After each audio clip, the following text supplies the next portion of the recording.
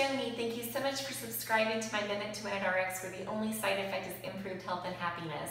So do you suffer from WGS, weight gain syndrome, that then leads to TTJ, too tight of jeans? Well, if you do, my next several segments are gonna be related to simple lifestyle upgrades that are gonna help you achieve your ideal body weight. We're gonna start today by having you write down on a file card or wherever your ideal body weight. Then I want you to believe that to be true. I want you to feel it, believe it, to achieve it. Uh, most of us should only lose about five pounds a month, okay? And what that looks like is right there, five pounds. So just imagine that leaving your body and how much better you're gonna feel. So I'm so excited to share with you simple lifestyle upgrades that are gonna get you closer to your optimal weight and wellness.